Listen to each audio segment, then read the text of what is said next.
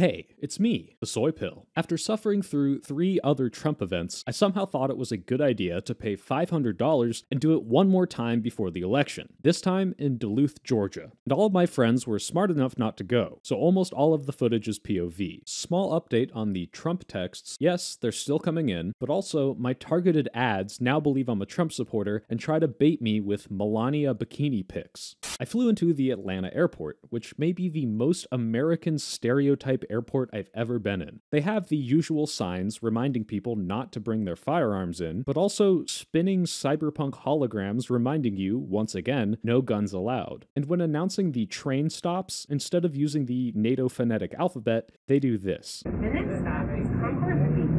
B is in burgers and beverages. I died a little inside, imagining this being a European's first experience in America. Arriving in Duluth, the first person I ran into was the Prince of Darkness himself, Satan. Do you think people view you as untrustworthy?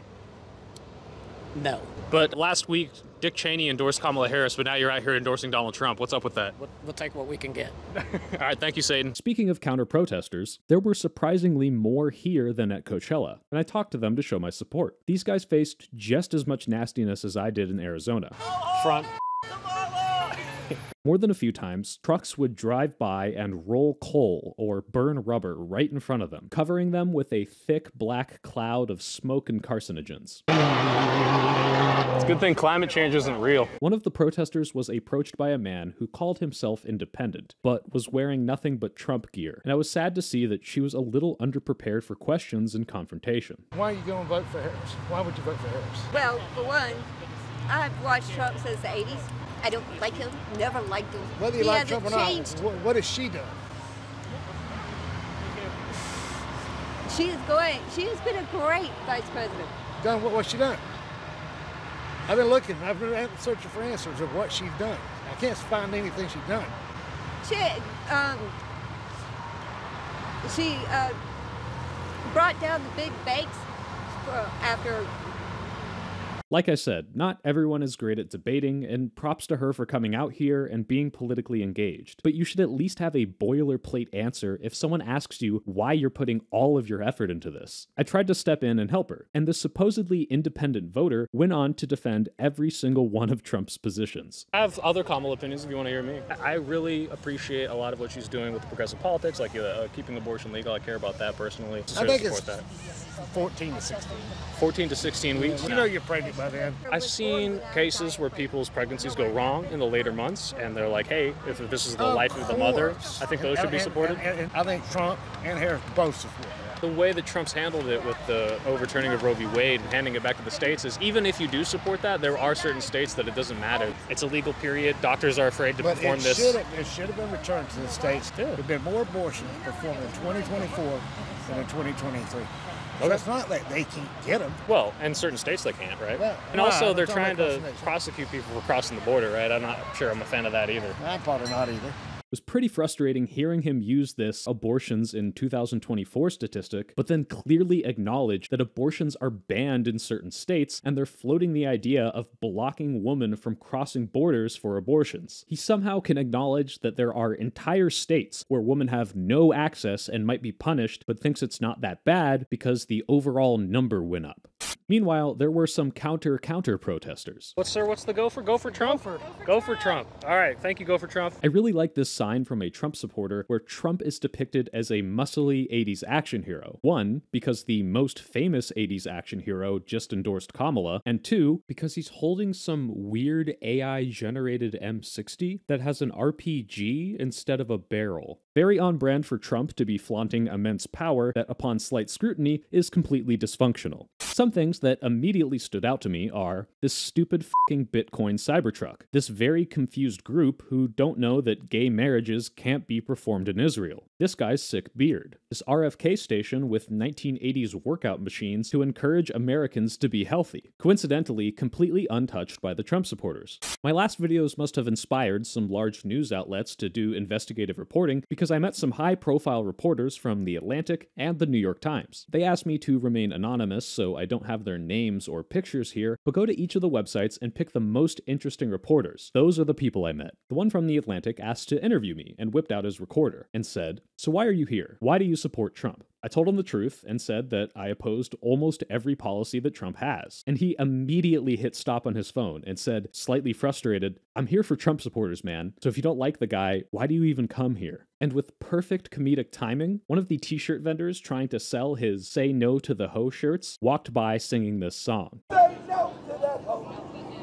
Cause that hoe is just bad. So you gotta say no to that hoe. So I just pointed at him and said, That's why. Speaking of shirts, there wasn't too much new merch that I haven't already shown you in previous videos. And that's partly because these guys, like me, have been following Trump around the country to make their money. But you may remember the vendor wearing the T Pain hat from my Arizona video. And look at that, I ran into him again. Ladies and gentlemen, observe a man who is embarrassed to explain to me why he supports Trump. Some of the new shirts I did see were a little questionable, telling you to join militias and guillotine the government. I don't know if I just missed these last time or if Georgia Trump supporters like saying the quiet part out loud. Another thing of note were these Trump themed bongs. Seemed a little bit like a classic case of not knowing your audience. Is weed legal here in Georgia? No. well, actually, shit, I know it's not in North Carolina. okay. And as I expected, by the time the rally was over, none of them had been sold. Again, I didn't buy anything because I really didn't want to contribute to the Trump campaign. And of course, nothing was really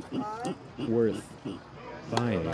Okay, I caved and got the Trumpacorn. Here's my Kamala Harris donation. If you're wondering what a Trumpacorn is, the explanation I got from the seller was you know how cats have nine lives? Well, they tried to assassinate Trump two times. And well, unicorns have like unlimited lives. Once again, they were handing out free copies of The Great Controversy. And holy shit, there must be an Indiana Jones warehouse full of these, because they have boxes and boxes. I also secured my own copy of the Japanese book where Trump is the reincarnation of George Washington and the author interviews his ghost. Interestingly, the man giving away the book about Jesus coming back to life and bringing about the biblical end times doesn't believe in any of that silly spiritual stuff. You're both handing out free books. Is there any competition here? No. This is a book about uh, Donald Trump is the reincarnation of George Washington, and there's an interview with the spirit of George Washington in there. I'll tell you right now, I don't believe in spiritualism where someone dies and they're they're haunting and Yeah, coming back yeah. and talking to other people.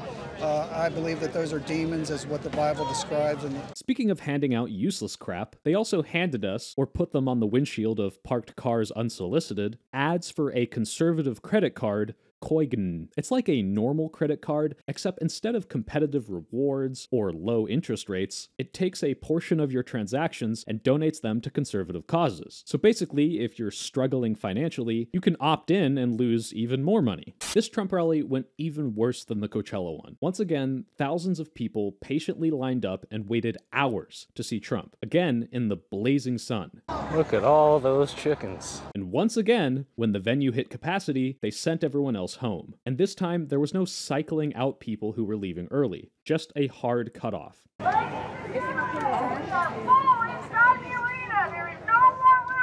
does that mean? What does that mean? Some people complained and insisted that they had a ticket, but most of the supporters didn't let it get them down. Redneck starting, they stay bumping. Told 'em keep quiet, but your mouth steady running. I come from the country, bitch. So funky, rowdy as hell when we pull up to the function. Bitch, I'm rowdy like a redneck.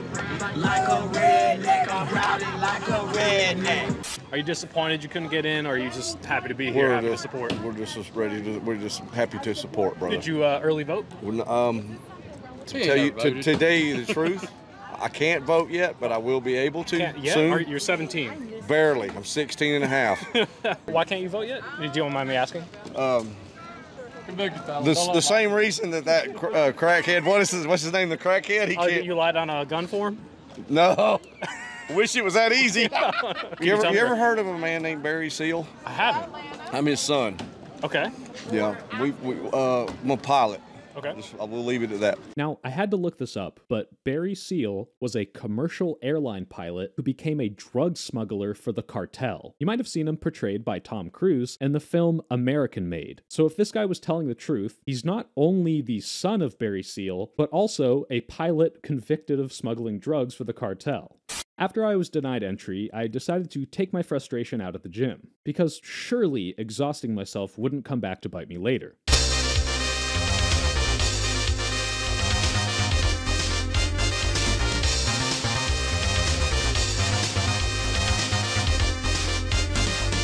But something compelled me to go back to the rally, as if pushed by a higher power. And lo and behold, the RFK station was finally occupied, and I was challenged to do 24 pull ups for a free hat.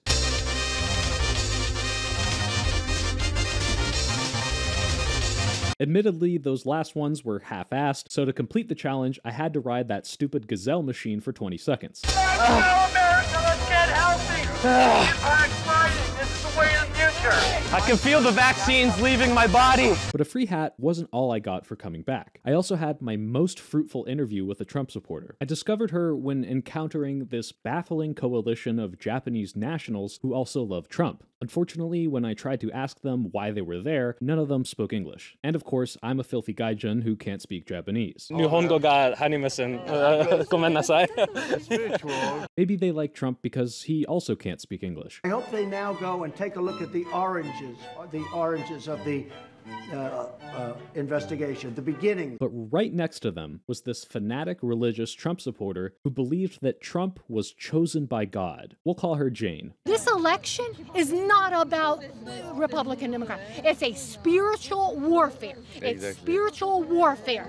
Either we bow our knee and submit to Almighty God, and He heals our ha- our land, or we will be destroyed. Do you believe That's Trump was chosen by God, like uh, like I, after the election? I believe that God has chosen Trump for such a time as this. Yes, I do. God is looking for a humble man, a man to accomplish his purposes. Everybody has a sinful past. I have a sinful past. You have a sinful Yeah. past. You do. But that I'm not going to I'm going to heaven. I'm an English teacher. I'm an English and Spanish teacher, but I'm also in law school. But I don't teach in, in the public schooling system. The curriculum that they're trying to push in Gwinnett County Public Schools is in my opinion, dangerous. It's indoctrinating students. What's the worst thing? Okay. worst example. Sure. Right now, actually, there's a new sex ed curriculum that's called Health Smart. But I have read some of the lessons, and one lesson is on gender identity. And I read the lesson, and it said, you know, sex is what is assigned to you at birth. You see, even the language here is manipulative. And gender, the definition there was gender is how you feel. It's it's so surreptitious. Keep your agenda out of it. What's interesting is that she called the trans education surreptitious because of the way they disguise sex ed with positive language. But when asked about the RFK slogan, Make America Healthy Again, she said this Make America healthy again. Yeah, I think that's great. Yeah, healthy is a good word, but RFK is anti vax to the point of having aided in the deaths of 83 people in Samoa. And if Trump wins, he'll be in charge of our health agencies. Now, none of that rhetoric was particularly new to me, but what really blew my mind is that I actually got Jane to admit she was pro trans, whether or not she truly realized it. Can I ask a weird question? Yeah, of course. Okay. This if you were to look at me, Yeah. would you say I'm a boy? Yes. Okay. What if I told you I was born a girl? Would I still appear a boy to you? If you told me you were born a girl, Yeah, I was born female, but I got TRT and a mastectomy and all that. I mean, just looking at you, no, I would say you're still a male. So okay. Yep, Jane said that even if I was a trans man who was born a woman, she would still call me a man based on my appearance. It's not exactly all in support of the trans community, but coming from a conservative, especially this conservative, I'll call that a win. And for any trans men in my audience, this is now your bar for passing. I also had to ask Jane some very difficult abortion questions. What's more innocent than a growing human life? A puppy? Just, what's that? A puppy. Okay. Okay. In some You levity- asked, I had to answer. Yeah, yeah, yeah, of course, of course. if you were running into a burning building and mm-hmm. there was a room, and on one side of the room there was a baby in a crib, and on the other side there were 20 implanted embryos, two weeks old, and you could only save one of them, which would you save? I hate your question. That's fair. My answer to that is I would always save the baby because mm-hmm. I value that baby's already developed consciousness, functioning Why do I brain. have to choose? I would I would save both. That's such a horrible dichotomy. I hate that. But but if you ha- like if you had to put worth, would you not say that that to your child has at least a little more worth as because it's already a fully formed human being? That's such a hard question. obviously, you know, I would want to save the child who's living and breathing Mhm. first because I see the imminent threat. Right. So I, I'm would implore you. I know you're, I'm not going to change your mind on it, No, but just to consider the fact that you would save the one that there's an imminent threat to, that baby. Why people might lean a little more pro-choice. Final question. I'll let you go. Sure. Same situation, but instead of an IVF on the table and a baby, it's a baby and ten monkeys.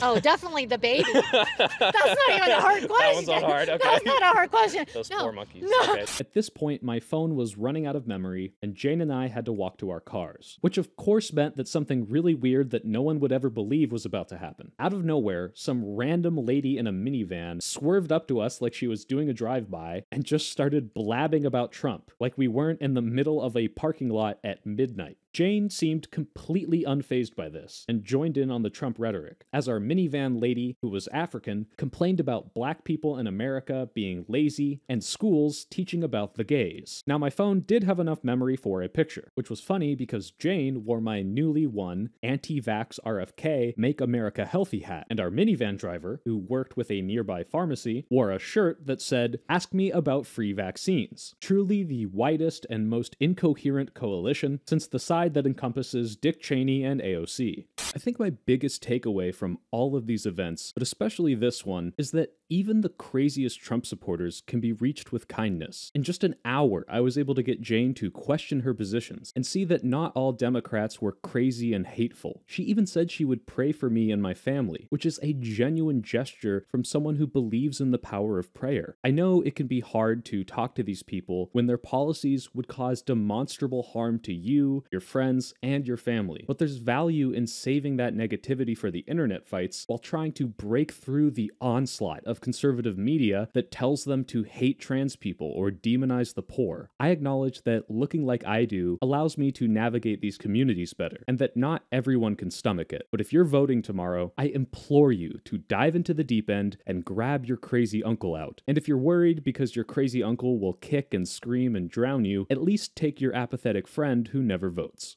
Thanks for watching. Big thank you to all of my Patreon supporters, but especially my premium supporter, Nipple. Moving forward, all of my Patreon subscribers will be getting my videos early, and I'll be uploading cut interview content, so be sure to check it out. And don't forget to type 1 to end the deep state.